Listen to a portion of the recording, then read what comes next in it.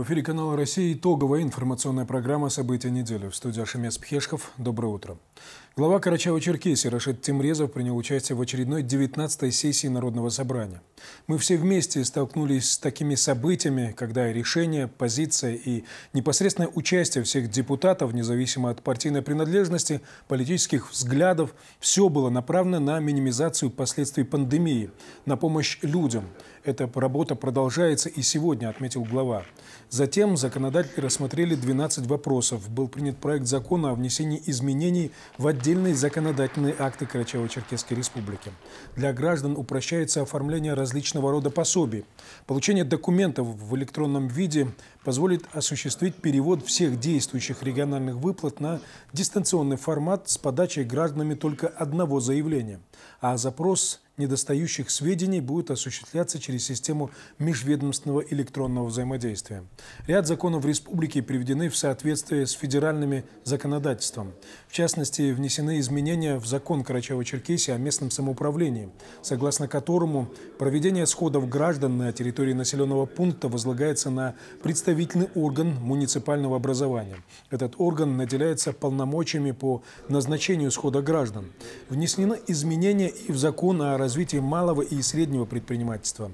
Теперь на самозанятых граждан распространены отдельные меры господдержки. Хочу вас поблагодарить за вашу работу, которую вы в этом году принимали участие в решении важных вопросов, касающихся развития нашей республики. И ваше решение, ваша позиция, и ваше активное участие, вне зависимости от партийной принадлежности, политических взглядов, и мы все вместе делали одно общее дело во благо нашей Карачаево-Черкесской Республики и Российской Федерации в целом. Сегодня День спасателя. С профессиональным праздником их поздравляет глава республики Рашид Тимрезов. Сама суть вашей работы – готовность в любую минуту прийти на помощь людям, попавшим в беду, мобилизовать все силы для спасения терпящих бедствия. Все это делает вашу профессию одной из самых благородных и нужных. Невозможно переоценить ее важность для туристического региона, каким является Карачаево-Черкесия. Республиканский поисково-спасательный отряд по праву считается одним из лучших в России. Вы не раз доказывали свой профессионализм на соревнованиях и на реальных спасработах самой высокой сложности. Спасибо вам за ваш тяжелый благородный труд. Мы гордимся, что на страже жизни и здоровья жителей и гостей республики стоят такие профессионалы, как вы. В Доме правительства прошло заседание комиссии по предупреждению и ликвидации чрезвычайных ситуаций и обеспечению пожарной безопасности Карачаево-Черкесии за 2020 год. Собравшиеся обсудили вопросы, связанные с обеспечением безопасности граждан в период проведения крещенских праздников, а также предотвращение различных чрезвычайных ситуаций. На заседании комиссии побывал и наш корреспондент Алихан Лепшоков. Рассматривались вопросы касаемо обеспечения безопасности на водных объектах граждан в период празднования крещения. Также подробно рассказали о проводимой работе по предупреждению и ликвидации чрезвычайных ситуаций и обеспечению пожарной безопасности. Заместитель начальника МЧС России по Карачаево-Черкесии Сергей Кравченко подробно отразил эти темы в своем докладе. В связи с отсутствием ледовых переправ в зимний период на территории республики надзорные мероприятия э, проводиться не будут. К открытию э, готовятся 7 традиционных мест массового выхода людей на лед для э, подледной рыбалки и отдыха граждан на льду. Так, э, в основном здесь планируются такие, в основном профилактические мероприятия, информирование граждан, выставление аншлагов. Помимо этого были затронуты вопросы пожарной безопасности в жилом фонде в отопительный период. Также подвели итоги работы Центра гражданской защиты. Было отмечено, что в этом году было несколько пожаров, в особенности из-за засушливости климата. Тесное взаимодействие всех структур власти и сотрудников различных служб позволило ликвидировать вовремя все чрезвычайные ситуации. Благодаря своевременному введению правительством Карачаево-Черкесской Республики особого противопожарного режима а также установлению дополнительных требований пожарной безопасности удалось стабилизировать пожаро-опасную обстановку и не допустить распространения ландшафтных лесных пожаров на населенные пункты и объекты экономики республики. В текущем году Главным управлением МЧС России по Карачаево-Черкесской Республике совместно с силами и средствами РЧС осуществлен весь комплекс предупредительных и превентивных мер по обеспечению безопасности людей на воде. В завершении все собравшиеся посмотрели ролик об итогах деятельности МЧС по Карачаево-Черкесии за 2020 год. Алихан Лепшоков, Расул Бердиев, Вести Карачаево-Черкесия. Он внес неоценимый вклад в духовное развитие нашей республики, подавал пример для подрастающего поколения и помогал всем, кто нуждался в помощи. Для каждого он находил слова поддержки. Накануне республика простилась с Ибрагимом Хаджи Качиевым. Похороны прошли в селе Дружба, где он долгие годы был имамом. О жизни религиозного деятеля Аслан Гирюков. На протяжении всей жизни Ибрагим Хаджи Качиев помогал сиротам и нуждающимся. Никто не оставался без его внимания и поддержки. Религиозный и общественный деятель. Человек с большим сердцем, который искренне помогал и сопереживал всем людям. Нельзя переоценить вклад Ибрагима Хаджи в духовно-нравственное воспитание молодежи. Этому он уделял особое внимание. Он стоял у истоков образования Духовного управления мусульман Карачаева-Черкесии и с первых дней работал на благо общества. При его непосредственном участии происходило возрождение ислама. Ни один религиозный праздник не обходился без его участия и наставлений, ведь Ибрагим Хаджи для всех был учителем. Это невосполнимая утрата. Это действительно так. Такого человека навряд ли больше у нас будет. Я надеюсь, иншаллах, Ибрагим Хаджи будет тоже обладателем рая. Он делал очень многое. И невозможное он делал. Вот что поделаешь, ушел от нас. Нам единственное остается только молить Всевышнего Аллаха, чтобы он его простил, чтобы он его сделал обладателем рая. Ибрагим Хаджи Качиев на протяжении 40 лет работал на духовном поприще. Активный, энергичный, он пользовался непререкаемым авторитетом среди населения. Для людей он был добрым другом, лучшим советчиком и имамом. Проводить Ибрагима Хаджи в последний путь собрались люди со всей республики и не только. Несмотря на пандемию, услышав эту печальную весть, никто не смог остаться в стране. Очень большая потеря для нас. Ибрагим Хаджи очень хорошим мусульманином, достойным человеком был. Да, для нас большая эта потеря. Отзывчивый был очень. Всем пытался помочь, помогал. По мере возможности он всем помогал. Это был ну, великий человек на самом деле. Можно сказать, он даже он отец всех бездомных, обездоленных, сирот. Он дух имама нашего поднимал иман всей республики. Поэтому сейчас всем нелегко приходится. Ну, на все, на все волю Всевышнего. Думаю, дальше мы будем вспоминать то, как он нас учил, и будем стараться двигаться по этой дороге. Кадию Республики Ибрагиму Хаджи Качиеву было 59 лет. Последний месяц своей жизни он боролся с болезнью. Без преувеличения можно сказать, что Ибрагим Хаджи Качиев был религиозным символом Карачаева-Черкесии, объединяющий все народы и конфессии, что очень важно для многонациональной республики. С его уходом осиротело не только село Дружба, но и вся республика. Аслан Герюгов, Ислам Урумов, Вести, Карачаева-Черкесия, село Дружба. Сто лет назад родился выдающийся полководец и дипломат, генерал-полковник Салтан Кекезович Магометов. К его столетию в стенах Карачаево-Черкесского государственного университета прошла научно-практическая конференция. Также данное мероприятие приурочили к 75-летию Великой Победы. Тему продолжит наш корреспондент Аслан Герюгов. Султан Магометов родился в 1920 году в ауле Хурзук. Уже с детства он отличался талантом к учебе. После 9 класса его сразу приняли на последний курс педагогического факультета Рабфака в Микоян Шахари, который он также кончил с отличием. Султан Кюкёзович очень любил точные науки и мечтал стать ученым, и поэтому поступил на физико-математический факультет Ростовского университета. Но после второго курса был призван в ряды Красной Армии. С этого момента начался его долгий путь солдата. В армии он прошел полковую подготовку, получил звание сержанта, а потом началась война с Финляндией. Спустя некоторое время Султан Магометов снова ушел на фронт. Началась Великая Отечественная война. Все, кто знал его лично, говорят про его доброту и желание помочь всем, кто обращался к нему с просьбой. Он э, человек очень глубокий, очень широкого кругозора, глубокого ума, очень простой – к нему с доверием мог подходить, с ним разговаривать и рядовой, и равный, и выше его чинами. Он был участником тяжелых боев под Москвой. Сталинградской битвы, Курской битвы. Освобождал Белоруссию, Прибалтику. На научной конференции, которая проходила в читальном зале Карачаево-Черкесского государственного университета, рассказывали о биографии Султана Магометова, о его трудном пути военного. Ведь за всю жизнь Султан Кюкюзович прошел через пять войн и завершил службу в звании генерал-полковника. Долгое время изучаю его биографию и занимаюсь э, его популяризацией и героизацией э, уже 13 лет. Поэтому мне очень близок, он э, настоящий, можно сказать, герой из героев нашей республики. Поэтому мы должны его помнить, чтить, ну, всячески э, поддерживать все почины и о сохранении памяти об этом человеке, великом человеке. В связи с эпидемиологической ситуацией данная конференция проходила с ограниченным количеством участников. Когда ситуация с коронавирусом сойдет на нет, организаторы проведут ряд мероприятий и установят памятник Султану Кюкёзовичу Магометову. Аслан Герюгов, Расул Бердиев, Вести Карачаева, Черкесия.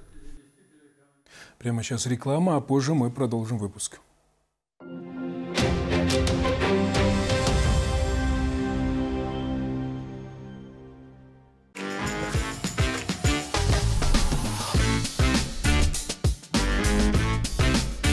Каждому блюду свой соус байсат. Байсат. Бесконечно вкусно. Скидки? До 80%? Да, распродажа в 585 золотой. Украшения со скидкой до 80%. Надо брать 585 золотой. Дарите эмоции. В честь 30-летия мы подготовили для вас специальное предложение. Рефинансируйте кредит по ставке не выше 8,9% годовых в Минбанке. Меньше платеж, больше поводов для радости. Московский индустриальный банк. Новогодние скидки до 30%. Куртка в подарок. Спешите до 31 декабря. Вятские меха. ТЦ «Панорама». Первый этаж. Город Черкесск. Агрокомбинат «Южный» приглашает на работу овощеводов. Обязанности – посадка и уход за растениями, сбор овощной продукции. Оплата труда – сдельная, среднемесячная заработная плата – до 46 тысяч рублей. График работы с 8 до 17 часов. Официальное трудоустройство согласно Трудовому кодексу Российской Федерации. Полный социальный пакет. Гарантированы социальные льготы, выплаты по выслуге лет. Доставка на работу и с работы транспортом предприятия.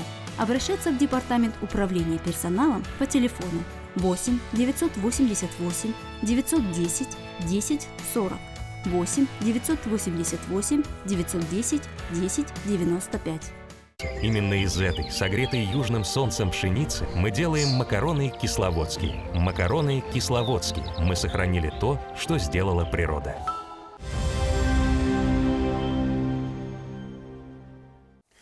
Сегодня в Карачаево-Черкесии продолжают выявлять заболевших коронавирусной инфекцией. Ежедневно цифра вновь выявленных составляет в пределах 90 новых случаев.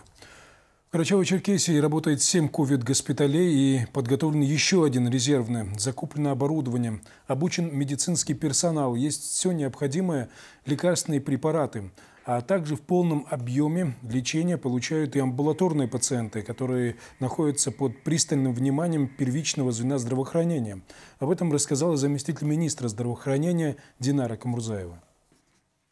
И вне ковида, а, в новогодние праздники, да и вообще в любые другие, в медицинских организациях всегда есть а, ответственные дежурные и медицинские работники, непосредственно несущие службы в тех или иных отделениях, подразделениях, поликлиниках. А, дежурные администраторы в Министерстве здравоохранения обязательно есть. Учитывая ситуацию по ковиду, безусловно, эти службы усилены.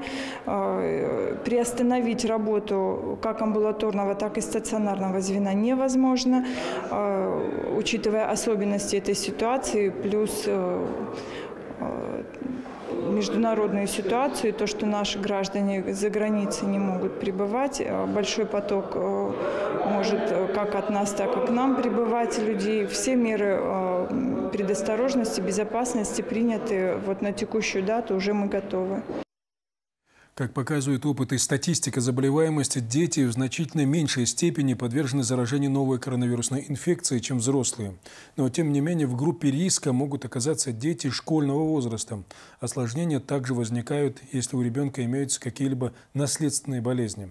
Ахмад Халкечев продолжит тему. Первое, на что должны обратить внимание родители, это повышение температуры. Если в течение трех дней она высокая, то к врачу нужно обратиться незамедлительно. Родители, у дети которых заболели, обязательно должны обращаться. Обращаться за медицинской помощью. Сначала обращаются к участковому врачу-педиатру.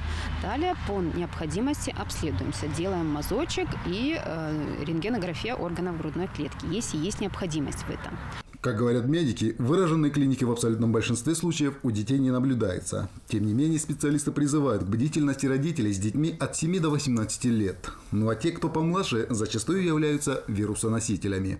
Но при наличии каких-либо наследственных заболеваний даже у ребенка могут возникнуть осложнения, с сожалением отмечают врачи. Если имеются осложнения там, в виде сахарного диабета или имеются еще другие какие-то эндокринологические заболевания, ну, ожирение, да, допустим, конечно, в этом случае могут быть и эти же осложнения, но они уже поступают уже в стационар. Детей, у которых коронавирусная инфекция дала осложнения, со всей республики везут на лечение в Иджигутинскую районную больницу, которая сейчас временно переведена в статус ковид-госпиталя. Детский стационар рассчитан на 20 коек. Сейчас здесь лечатся четверо детей. Дети, которые находятся у нас в Уджигутинской э, больнице в, отдел... в детском отделении со средней степенью тяжестью заболевания. Имеются дети, которые, у которых имеется и пневмония, осложнением идет, да, вирусная пневмония э, при коронавирусе. Э, получают лечение в полном объеме и в полном объеме также обследуются. То есть тяжелых случаев пока нет, еще не было не вообще было, в нет, практике? Нет. Чаще всего коронавирусной инфекцией заболевают дети, которые оказались в так называемом очаге, то есть в семье, где уже имеются ковид-больные. Следовательно, в подобных случаях взрослым необходимо быть особенно бдительнее. Ахмад Халкечев, Ислам Урумов, Вести Карачаева, Черкесия. До конца года порядка одной тысячи семей из всех городов и районов республики, находящихся в сложной жизненной ситуации, будет оказана помощь в виде продуктовых наборов первой необходимости. Такое решение было принято главой Карачаева-Черкесии Рашидом Тимрезовым на встрече с председателем парламента республики Александром Ивановым. И в эти дни волонтеры «Единой России» приступили к развозке продуктов по адресатам. Фатима Даурова присоединилась к ним в селе Садовое. Промозглый ветер и минусовая температура, а окна старого покосившегося дома из самана забиты плотным целлофаном, чтобы хоть как-то удержать тепло внутри. Руслан Биджиев, хозяин этого двора и дома, инвалид по зрению. Живет он здесь совершенно один, если не считать верного друга, маленькую дворняжку, которая нас встретила звонким лаем. Помощь в виде корзины продуктов – самое маленькое дело, чем можно ему помочь, но он и этому безмерно рад. Что-нибудь на обед себе думаете приготовить? Все сейчас приготовлено, ничего не думай. Может, завтра. Ну вы рады-то, что... Вот рад, рад, спасибо. Спасибо большое. Колонна с гуманитарной помощью едет по тихим улочкам села от адреса к адресу. И в каждом доме волонтеры встречают с удивлением на лице, которое сменяется улыбкой, когда видят, что к ним в дверь постучались с подарком. Спасибо. Я не знаю даже, что сказать. Такая помощь необходима семьям, как вы ну, думаете? Ну да, конечно. Сейчас в это время вообще очень большая поддержка. Спасибо большое. Мука, сахар, макаронные изделия, крупы, масло, сладости. Ими заполнены мешки до завязки. Эти продукты на некоторое время помогут семьям распределять кухонные затраты экономичнее. В списке волонтеров «Единой России» более 10 семей из этого села. Это вдовы, матери-одиночки, многодетные семьи с низким уровнем дохода, люди с ограниченными возможностями здоровья, которым ждать помощи не от кого.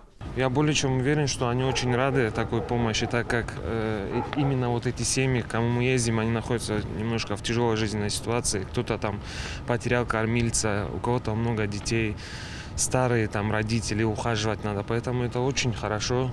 Большая благодарность, конечно, президенту, главе нашей республики и всем, кто в этом участвует, конечно, Спасибо огромное. К Новому году наборы продуктов первой необходимости получат тысячи особо нуждающихся семей республики. А это значит, что как минимум тысячу раз на лицах людей заиграет улыбка благодарности за такой подарок. Фатима Даурова, Роберт Джигутанов, Вести, Карачаева-Черкесия. Энергетики отметили свой профессиональный праздник. Об итогах уходящего года и о планах на перспективу вестям рассказал директор Карачаево-Черкесского филиала «Русгидро» Петр Кравченко. Ахмат Халкевич продолжит. Уходящий год был весьма непростым. Беспрецедентные меры, принятые по недопущению дальнейшего распространения коронавирусной инфекции, отразились на деятельности практически всех без исключения предприятий и организаций. Но несмотря на все сложности, Карачаево-Черкесский филиал Русгидро справился со всеми задачами, которые были намечены на этот год. Было выработано 325 миллионов киловатт-часов электроэнергии. С момента пуска э, когда станция в 1999 году пущена, э, у нас ожидается 6 миллиардов 311 миллионов киловатт-часов. Но с пуском Усть-Жигутинской у нас э, среднегодовая выработка должна достигнуть порядка 483 миллиона киловатт-часов. Э, что это такое? Это много или мало?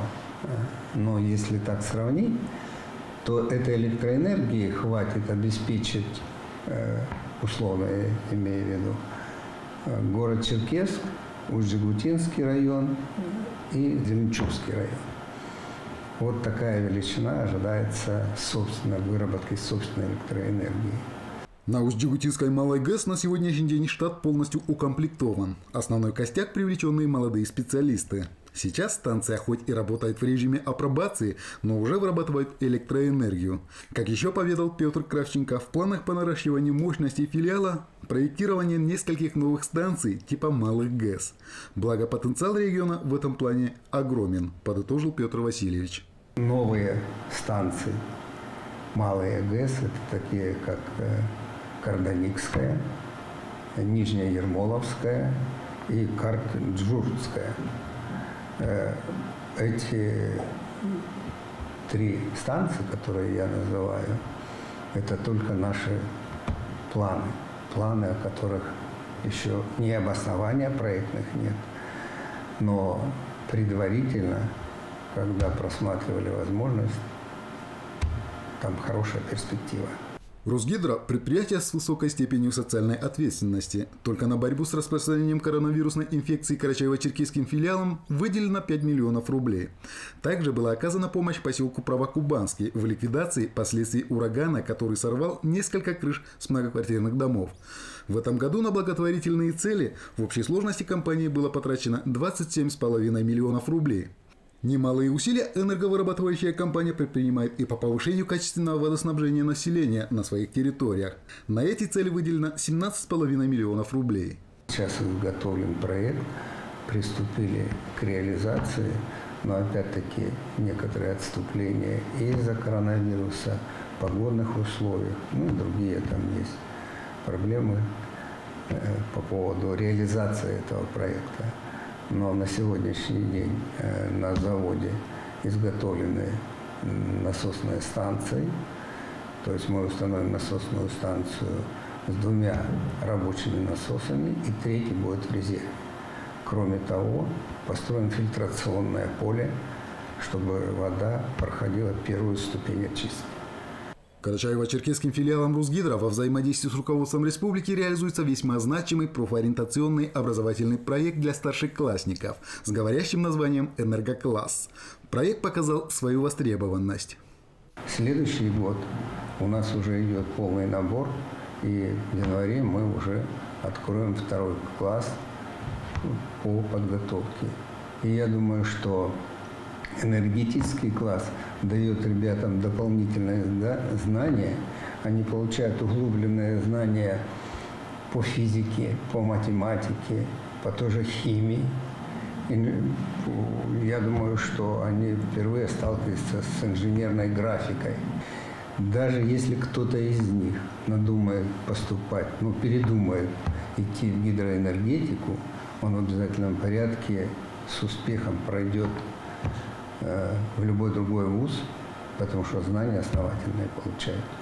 Русгидро является предприятием из категории непрерывного цикла. Буквально с первых дней особого режима, принятого из-за пандемии, на предприятии был утвержден смешанный режим работы. Часть сотрудников перевели на так называемую удаленку. Ну а те специалисты, которые не смогли оставить производственный процесс, продолжали оставаться на боевых постах, соблюдая все предписанные санитарные меры. Акмар Халкечев, Роберт Джигутанов, Вести Карачаева-Черкесия, Карачаевский район. Понимая сложные условия, в которых в этом году оказались сельхозтоваропроизводители России, компания «Росагролизинг» сделала настоящий подарок фермерам нашей страны. Какой именно, расскажет наш корреспондент Ольга Савенко. Учитывая тот факт, что в начале 2021 года ожидается рост цен на сельскохозяйственную технику и оборудование, это действительно будет отличным новогодним подарком для тех, кто работает на земле. Впервые в истории компания «Росагролизинг» запускает акцию раннее бронирования, которая предоставит аграриям возможность приобрести технику и оборудование на максимально выгодных условиях. В акции участвуют более 20 крупнейших производителей техники. Россельмаш, Петербургский тракторный завод, Брянсельмаш, Евротехника, Агросервис Техника и другие. При оформлении на сайте Росагролизинга Э, заявки. Сельхозтоваропроизводитель получает сельскохозяйственную технику на следующий год с фиксированной уже ставкой, то есть по старым ценам этого года. Э, помимо этого, производитель сельхозтехники э, дополнительные скидки им делают. Кроме того, акция раннее бронирования предусматривает ряд дополнительных льгот. Технику можно приобрести без начального взноса – есть и отсрочка платежа по основному долгу до 1 сентября 2021 года, что дает возможность аграриям республики подготовиться к посевной кампании уже сейчас, а начать платить основной долг через полгода после завершения уборочной кампании. На это могут рассчитывать все аграрии, которые имеют э, э, более двух лет опыта работы в сельском хозяйстве, так как рас, при рассмотрении заявок это все учитывается, сколько лет работает, какие у него финансовые возможности и так далее. Акция раннее бронирования будет действовать до 31 января. Так что у фермеров Карачаева-Черкесии еще есть время, чтобы приобрести новую технику по старым ценам. Ольга Савенко, Расул Бердиев, Вести Карачаева-Черкесия. Это вся информация, подготовленная нашими корреспондентами к итоговой программе «События недели». Я благодарю вас за внимание и пусть в ваши дома приходят только добрые вести. Будьте с нами. До встречи.